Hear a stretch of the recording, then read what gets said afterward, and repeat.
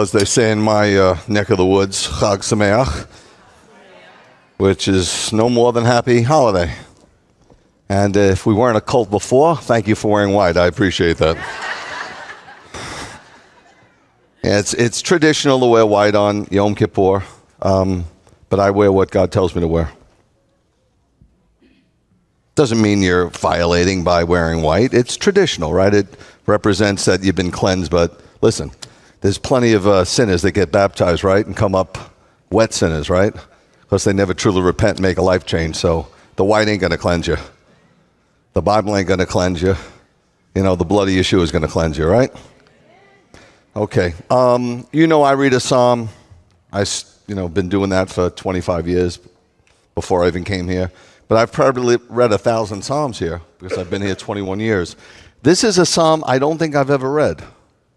So I'm really, really, really excited to read it. It's the only psalm written by Moses. So it's like the oldest psalm. And if you have your Bibles with you, it's Psalm 90. And um, just to give you the backdrop, because these are all songs, you know. And when I was listening to rock and roll in the 70s, whether it was Led Zeppelin or, or whoever it was, you know, these songs come from somewhere. They're not, they're not just random. I mean, whoever wrote these songs, there's a reason something was going on, and I like to know the origin of everything. You know that by now. Where did this come from? Where's this colloquialism? You know, what's its origin? So, the origin of this probably is that um, this is the tolling of the death bell. They're in the wilderness, and every day it's like, 100 more, 100 more, 100 more, 100 more. People are just dying left and right. And uh, this was Moses' prayer known as the man of God. Adonai, you have been our dwelling place in every generation. Before the mountains were born, before you had formed the earth and the world, from eternity past to eternity future, you are God. So, why is he opening like this? Because there's so much transience going on right now and so much mortality, he finds relief in the eternal and unchangeable God. You understand that? There's a lot of transience going on in our lives, right? And there's a lot of mortality going on in our lives, right? There's a lot of craziness going on in the world, right? But we should find relief in the eternal and unchangeable God that we serve. Amen? Okay, it says, You bring frail mortals to the point of being crushed. Guys, I, I know people are legends in their own mind, even some people that, you know, admit that they're not, but deep down they think there's something special. I, I, that's fine in the world. That works in the world. There's big shots in the world. In the body of Messiah, you want to talk about your accolades and all the things you do? I'm all ears. If somebody asked me, are you a good guy or a bad guy? I, wouldn't know how to answer that. I wouldn't say a good guy because the Bible says there's no one good. So I can't really say that. Somebody might say, oh, Greg, oh, Greg you're a good guy. Really? Based on what? Who are you comparing me to? You know, Jack the Ripper or Jesus the Messiah? So I, you know, I think a good guy, a true good guy would say, I don't know. Sometimes I guess I'm a good guy and sometimes I'm not a good guy, right? Everybody fall in that category? Good, you're in the right place. It says you bring frail mortars to the point of being crushed. Why does God crush us? People, repent. That's why he crushes us. He doesn't crush us for no reason. He's not some sadistic father. Let me give it to them. He, he's begging us to repent because w- before the eyelids close, all your sins are written in pencil. Once your eyelids close, it's permanent marker, Sharpie, nothing you could do about it. So it's almost like he's begging people to repent, which is pretty nice of him, if you ask me. Far from your viewpoint, a thousand years are merely like yesterday or a night watch. Now everybody reads in the New Testament, a thousand years like a day. Yeah, that wasn't invented in the New Testament. In fact, nothing's invented in the New Testament. There was always, you think nobody got saved in the Old Testament? they got saved based on what Yeshua was going to do, but you can't get saved just by what Yeshua did. You got to repent and walk in a certain way. Nobody works in perfection but man. You know what I mean? We all fall short of the glory, but some people are too dang obvious. You hear what I'm saying? It says, When you sweep them away, who's them? Us. Us, we're them. they become like sleep. By morning, they are growing grass, growing and flowering in the morning, but by evening, cut down and dried up. What is this speaking about, guys? What do you think it's speaking about? What do you think Moses is declaring? The brevity of life. Some of you are 70, 80. Don't you remember when it was like yesterday you were graduating high school? The brevity of life. You know, Charles Spurgeon said about this verse sown, grown, blown, mown, gone. And people are holding on. Well, if I could just make it to, you know, they're so proud. I'm, I'm 80. On an eternal scale, we're so focused on the temporal, it's crazy. Well, I take that back. If you're in the world, it's not crazy. But if you're in the Lord, it's crazy.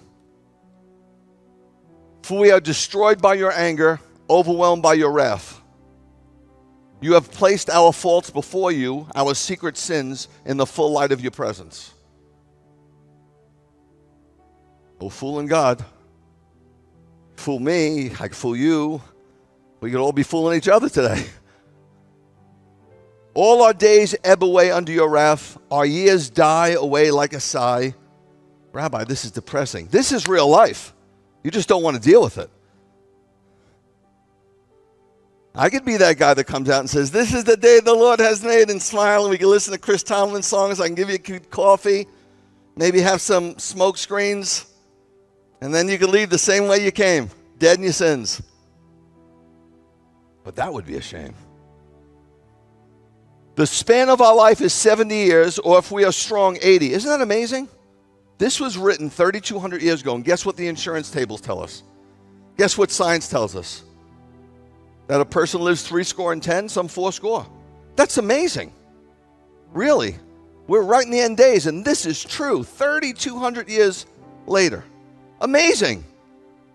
Yet at best, listen to this. Can anybody relate to this if you're willing to be honest? Yet at best, it is toil and sorrow over in a moment, then we are gone. You know what the psalmist is saying? That life is weariness. Anybody weary? Anybody lying? The, the ones that didn't put up your hand. You, now it's your turn. Good. One ailment follows another. Not when we're young, but then 50, you know, that time we have our first, we call it a procedure. I'm just going in for a procedure one ailment after another, after another, after, but we don't want to admit it. No, we're good. We're good. And then the smallest tasks are an effort as we age. The smallest tasks can overwhelm us. Rabbi, come on. Hey, guys, I'm just reading the Bible. what do you want from me? Yeah, I could have picked Psalm 150. Everything that has breath, not for Yom Kippur. Who grasps the power of your anger and wrath to the degree that the fear due you should inspire? You understand? So teach us to count our days that we will become wise. Look, eternal life is a long time. But this is the life you got right now. And this is all you got. In fact, all you got is this very moment. I don't know what's going to happen later. Look, we went on an Israel trip in February. Two ladies were having the time of their life. They came home, they got diagnosed with cancer. A month and a half later, they were dead. Yeah, their spouses are watching, just like that. Do you know anybody like that? I know, I, I know at least a dozen people here that that happened to. And you know what they thought? What you think? It's not going to happen to them. Return, Adonai. How long must it go on? Take pity on your servants. I'm only yelling because it's an exclamation point. Fill us at daybreak with your love so that we can sing for joy as long as we live. Let our joy last as long as the time you made us suffer. For as many years as we experience trouble, be- you know that you know what the psalmist is begging for? God's grace. Show your deeds to your servants and your glory to their children. And this is intercession at its best. And make no mistake, Moses was the intercessor of intercessors. The only one who intercedes better than him is Yeshua. May the favor of Adonai our God be on us. That's my prayer. Prosper for us all the work that we do. That's my prayer. Yes, prosper the work that we do. Now, I'm sure most of you, because Beth Yeshua is full of born again believers, right? And not too many seeker friendly come to listen to my rhetoric. That would be horrible. So, most people are born again. So, even though this was written a thousand years before Yeshua, obedience is still the key, but much easier in light of the cross. Why? Because it's so easy to obey somebody you're in love with. Isn't it? Then it's not forced. Like, no offense, but I, I really honor people that stay married for the sake of Yeshua's name, but it's just not as much fun. You know what I mean?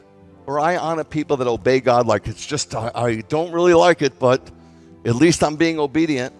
How much more pleasurable is it when you're in love with the Lord and you know He's crazy about you? So anything He would tell you to do would never be to hurt you, but to bless you. Why would you not follow His ways if His ways are pleasantness, peace, prosperity, and protection? You got me. You got me. And Bern and I celebrated 34 years. A few people said, What do you do? What do you, what do you give her? Well, first of all, little princess went to Europe two weeks ago. But what did I give her yesterday? I gave her a card. And get this I hate cats.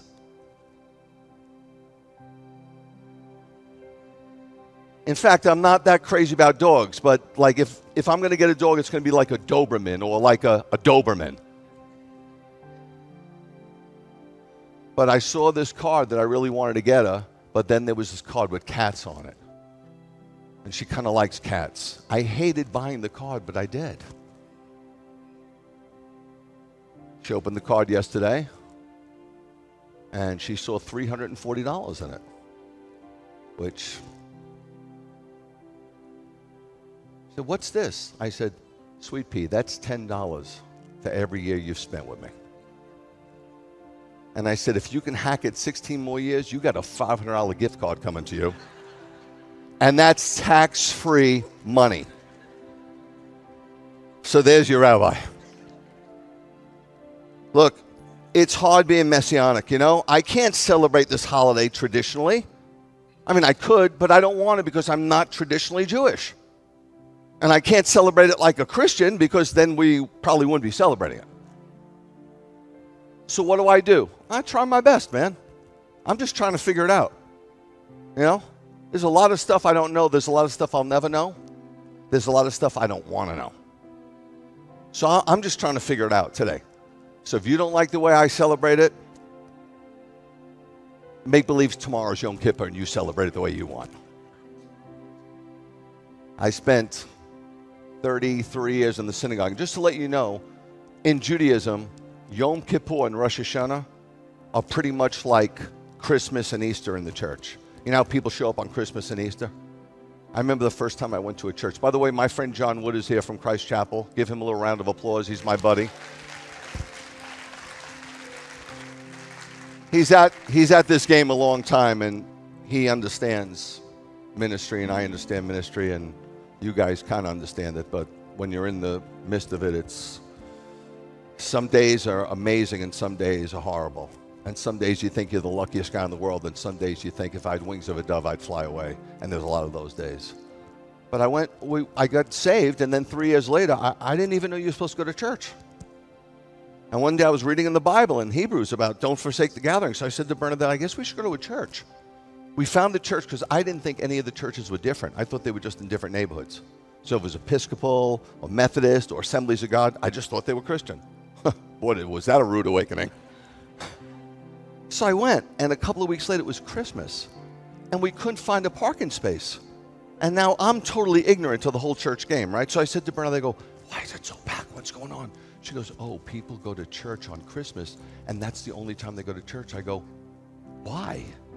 I couldn't wrap my mind. I said, why? She goes, well, that's the only time they go. I go, but there's so much good stuff they're missing. So Jews go to synagogue on Rosh Hashanah because they blow the shofar, and on Yom Kippur, those 10 days, Noim, Yomim, the 10 days of war, they're hoping that their name is inscribed in the book of life. May your name be inscribed in the book of life because the book is closed. Let me tell you, as a Jewish boy going to an Orthodox synagogue on Yom Kippur, it was scary. It was scary. Everybody's dressed in white and nobody's showered. they don't shower on that day because there's some good parts to it. You know why? Because on that day, it's totally not about you. It's not about how you look. It's not about how you smell. It's not about how you present yourself. On that day, it's all about God and how bad we need to bridge the gap. So I still think there's a place for it. How, how, how, bad is that? Could any Christian tell me, I don't know, Rabbi, if the whole body of believers around the world came before God on one day and, and, and you know, repented and said they were sorry collectively, I, I don't think that would be a good idea. I think you call that the National Day of Prayer and Fasting, no? So we'll try to make the most of it. You know what I mean? Let God do what He's going to do with you. No control. I don't want it. You know, let God do what He's going to do with me. But in all of it, give God the glory. Do His great name. Amen. I'll pray quick. Father, thank you. I don't have it figured out. Nobody does here, but you do. And you have this day planned. So do whatever you want to do. Not that you need permission, but I want you to do whatever you want to do. I ask this all in Yeshua's name. Amen and amen.